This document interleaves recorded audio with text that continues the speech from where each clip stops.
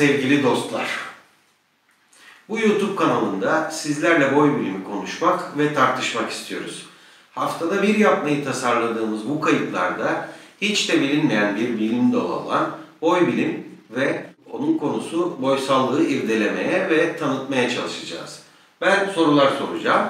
Levent abi de yanıtlayarak bu sorulara cevap ver, vermeye çalışacak. Bu söyleşinin dayanağı olan kitabı Levent abiye soralım. Yani Halil'ciğim, sevgili Halil bir başımıza bayağı bir iş açtı. Haftada bir yapacağız falan filan. Bakalım nasıl altından kalkacağız. Bu söz ettiğimiz kitap Boy adıyla boy bilim ve boysallığı içeren benim yazdığım yazımı tamamlanan basım aşamasında olan bir kitap. Bu kitabın konusu tam da söylendiği gibi boy bilim ve boysallık.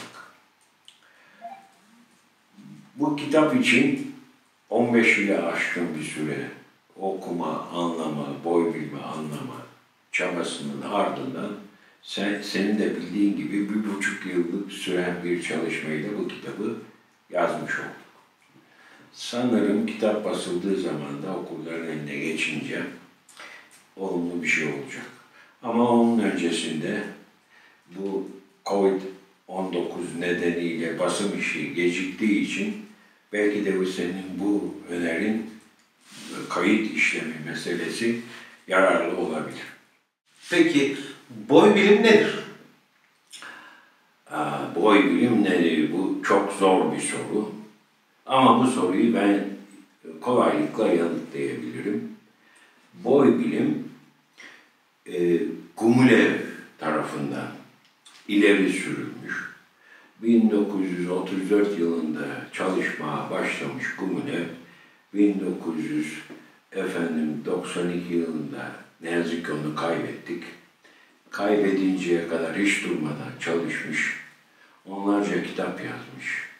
400'ün üstünde makalesi o var. Boy bilim diye bir bilim dalını ortaya koymuş. Bu bilim dalı yeni bir bilim dalı. Bu, bu bilim dalı hem zor bir bilim dalı ama hiç de o zamana kadar işlenmemiş. Gumulev buna Marksist etnoloji adını vermiş. Evet. Evet, Marksist etnoloji. Marksist etnoloji diyoruz. Evet. Peki e, Marksist e, etnoloji dedik. Boy bilimin yöntemi nedir? Hangi yöntemle? Yani nasıl bir bilimsel yaklaşımı Evet, var demek evet, istiyorsun. Bu, bu da tabii çok önemli. Bir bilim dalının yaklaşım biçimi o bilim dalının e, hem gelişimini hem yarın ne olacağını saptayan bir kavram. E, Gumulev Marksist etnoloji diye tanımladığı boy bilimin yönteminin diyalektik olduğunu çok net bir şekilde söylüyor. Evet, çok net bir şekilde söylüyor. Ne diyor tanımlarken? Ya, ya tabii ilk lafı şudur. Gumulev'in. O diyor ki, dünya yüzeyinde yaşayan her insan en az bir boyun üyesidir. En az bir boyun. En az bir boy. Her insan yani. Tüm insanlar boyların üyeleridir. Onların boysallıkları vardır. Bu boysallıklar çeşitli düzeylerde kimliklerdir. İki e, boyun üyesi de olabiliyor mu insanlar? İki olur, üç olur, beş olur. Birçok boysal yapının insanlar eş zamanlı üyesi olabilirler. Örneğin Tatarlar kendilerini Tatarlar olarak tarif ederler. Ama onlar yurt dışına gittikleri zaman biz Rusuz derler. Çünkü onlar aynı zamanda Rus boyununda Üyesi. üyesidirler. Onun dışında onların kendi içinde alt düzeylerde de boysallıkları vardır. Benzer bir şey. Türkiye'dekiler de Türk Tatarıyız biz diyorlar. Evet, onlar da Türk Tatarıyız Biz diyorlar. Türk'üz diyorlar. Türk Çerkezi diyor diye Türkiye'nin Çerkeziyiz diyorlar. Türkiye'nin Kürdüyüz diyorlar. Evet. Irak'ın da Kürdü var. evet. Aynı şekilde. Kürtlerin kendi içinde alt boysallıkları var. O aynı şekilde bir Fransızda Kelt olabilir, Breton olabilir ama onlar Paris'e geldiklerinde ben Par Fransızım diyor. Ama kendi yöresine gittiğinde ben diyor Kelt'im diyor ve kendi dilinde konuşuyor. Yani insanlar e, en az bir boyun üyesi ama daha e, fazla da boyun üyesi aynı anda olabiliyorlar. oluyorlar. Şimdi burada belki de e, Etnogenez kitabında Gumulev ki bu kitap e, boy bilimin e, en etraflıca ele alındığı, boysallığı irdeleyen önemli bir eser. Orada Gumulev diyor ki 500 sayfalık bu eserde 50. sayfasına gelince çok özenli bir e, okuyucum çıkardı. Ya bir cümleyle bu boy bilimi bana tanımlar mısın? Dedi. dedi diyor. O zaman diyor benim tanımım şu olur diyor. Bunu biz Türkçeleştirilmiş haliyle söylersek boy evrensel dönüşüm yasasına uygun olarak insan topluluğunu dirim güresel itimiyle devinen süreksiz bir düzen bütünlüğü ve dirim küre olgusudur. Çok karışık değil mi? o, o daha karışık bir şey olamaz. Gumulev de bunu söyledikten sonra diyor ki kitabın 50. sayfasında 500 sayfalık kitabın 50. sayfasında bunu söyledikten sonra diyor ki bu kadar bir tanımla bu boy bilimi anladıysanız kitabın gerisini okumasınız da olur. Ben şahsen anlayamadım. Peki biz şimdi nasıl anlayacağız bu konuyu? E, Tam da söylediğin gibi burada evrensel dönüşüm yasası, insan topluluğu, dirim güresel itim, süreksiz bir düzen bütünlüğü, Bunların hepsi ayrı birer kavram. evet birçok kavram devreye giriyor. Bu kavramları da tabii çok iyi bilmiyoruz. Evet. Bence bunları sırası Sırası geldikçe, değil mi? Evet, sırası geldikçe açıklayalım, Açıklama tart- gayret tartışalım. Evet, tabii ki tartışmak zorundayız çünkü her kavramın hmm, geniş bir çerçevesi var bir anlamı var. Ve anlayabilmek için tartışmak zorundayız. Tartışmadan bir şey anlayamayız. İlk insanlardan başlasak iyi olur gibi geliyor bana. İlk insanları nasıl tanımlıyor? Tabii şimdi hepimizin bildiği gibi insanlık milyonlarca yıl öncesinden Homo sapiens ve Homo erectus, Homo neanderthal gibi e, birçok türü, tür, homo türü olan bir e, evrim sürecinden geliyor. Gumilev diyor ki Homo sapiens türünün ilk ve tabi varoluş şekli etnostur. Burada etnos boy Boy. olarak bizim e, çevirdiğimiz sözcük. Etnoslar arasında farklar ise ırk, dil, din, şekil itibariyle değil, insanlığın yaşadığı ortamda en iyi şekilde nasıl uyum sağlayabileceğinin ortaya ortaya konulması davranış biçimleriyle tanımlanan bir olgu. Yani burada davranış biçimi önemli oluyor. Boy sağlığın temeli Tabii. davranış Davranış. biçimleridir.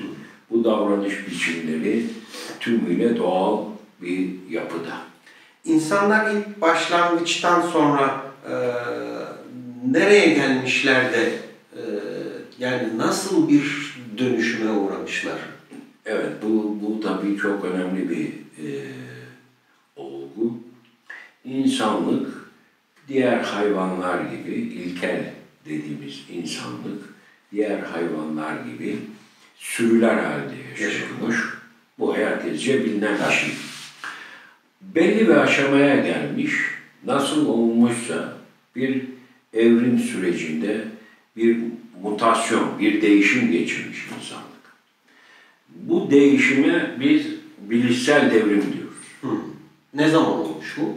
Bu yaklaşık olarak 70 bin yıl ile 30 bin yıl arasında e, arkeologlar tarafından, antropologlar tarafından tarihlenen bir süreçte oluştuğu ileri sürüyor. Ama bunun en kesin ve tartışmasız e, kanıtı olarak e, milattan 34 bin yıl önce Almanya'da Stadal mağarasında bulunan bir heykeldir. Bunu karbon yaşlandırma deneyiyle milattan önce 34 bin yılına adresliyorlar.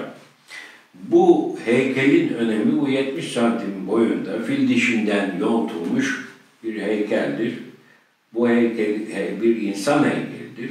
Vücudu insan ancak kafası aslan formundadır. E, aslan kafalı bir insan olamayacağına göre bu heykel bize şunu anlatıyor. Bunu yapan insanlar, Homo sapiens'in e, orada yaşayanları, demek ki bir olmayan varlığı, soyut bir varlığı öngörmüşler. Soyutlama yeteneğini Ortaya çıkarmışlar. ortaya çıkarmışlar. Buna bilişsel devrim diyoruz. Evet, bilişsel devrim insanın soyutlama yeteneğinin ortaya ortaya çıkışı. hayal edebildiği, düş kurabildiği bir süreci anlatıyor.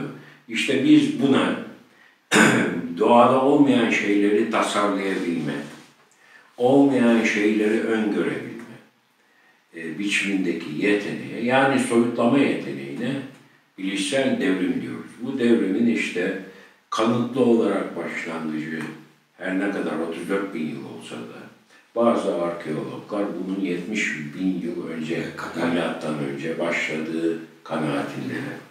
İnsanlar bilişsel devrim aşamasını geçtiler. Ne oldu bu aşamayı geçince? Bilişsel devrimle insan insanlaştı. İnsanın insanlaşması yani o, o- bu noktadan sonra Homo sapiens'e biz insan diyebiliriz. Evet. İşte bu insan bilişsel devrimle boysallığını üretti. Boylar oluştu. İnsanlar boylarıyla var olmaya başladılar. Boysallık elbette ki sürü olmaktan çok farklı bir şey. Hayvanlar sürü o halde yaşıyorlar fakat hiçbir soyutlama, hiçbir soyut tasarım yapamıyorlar. İnsanla hayvan arasındaki en önemli fark böylece bilişsel devrimle oluştu ve biz de bunun sonucu olarak etnoloji, Marksist etnoloji diye Gugulev'in ürettiği bilim dalıyla karşı karşıya kalmış olduk. Bizim bu e, sosyolojiden biliyoruz etnoloji falan var.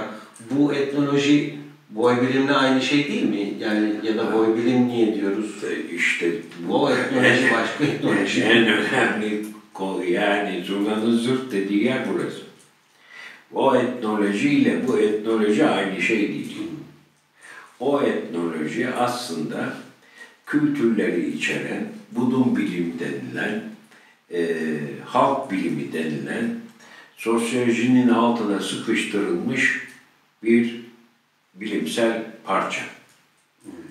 Oysa etnoloji gerçekte sosyolojiden çok farklı. Sosyolo- sosyolojinin yasalarına uymayan bir bilim dalı ve bu bilim dalını böylece ortaya çıkaran, yani boy bilimi ortaya çıkaran Gule. Biz bunu tartıştık. Burada e, o zaman sosyolojiyle yani toplum bilimle ilgili bir durum ortaya çıkıyor. Bilişsel devrim 34 bin yıl önce milattan e, yani milattan önce 34 bin yılında başlıyor. Bundan sonra toplumsallığın başlama süreci tarım devrimiyle başlıyor. Tarım devrimi milattan 12 bin yıl önce işte en son bulunan bulu- buluntularla Göbekli Tepe'de var olduğunu bildiğimiz toplumsal üretime koşut, meta üretimine koşut bir olgudur. Böylece toplumsallık üretime koşuttur. Üretimin olmadığı süreçler için söylenen ilkel toplum, ilkel toplum filan deyimleri aslında boysal süreçleri anlatan şeyler. Burada tabii bir çelişki var, çok önemli bir çelişki. Çok karıştırılan da bir kavramsallık var. Toplulukla toplum aynı şey değil. Toplum tarımsal devrimle ortaya çıkan üretim özlü, üretim kaynaklı bir insanlığın varoluş biçimi, insan topluluklarının varoluş biçimi. O milattan 12 bin yıl sonra insanlar eş zamanlı olarak hem boysal yapılara sahip hem toplumsal yapılara sahip. Bunlar birbirinden farklı şeyler eş zamanlı olarak var, var olabiliyorlar. Bunları biz ilerleyen süreçlerde irdelemeye çalışacağız sanırım.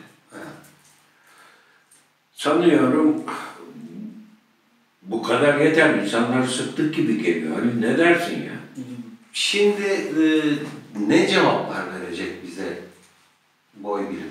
Hangi soruların cevaplarını biz bulacağız? Boy bilim bize neden birbirimizi yediğimizi boysal süreçlerde, neden savaşlar yaptığımızı, savaşlara olanak tanıyan hangi özelliklerimiz olduğunu, boysallığımızda olumlu ve olumsuz taraflarımız neler, ne gibi etkileri var. Bunları anlamamızı sağlayacak. Belki de barış içinde bir dünyaya ulaşmamıza katkıda bulunacak. Hayallerimiz gerçekleşecek. Yani umuyorum. Öyle umut, umut ediyoruz. Bir dahaki e, videomuzda görüşmek dileğiyle o zaman Osmanlık diyebiliriz.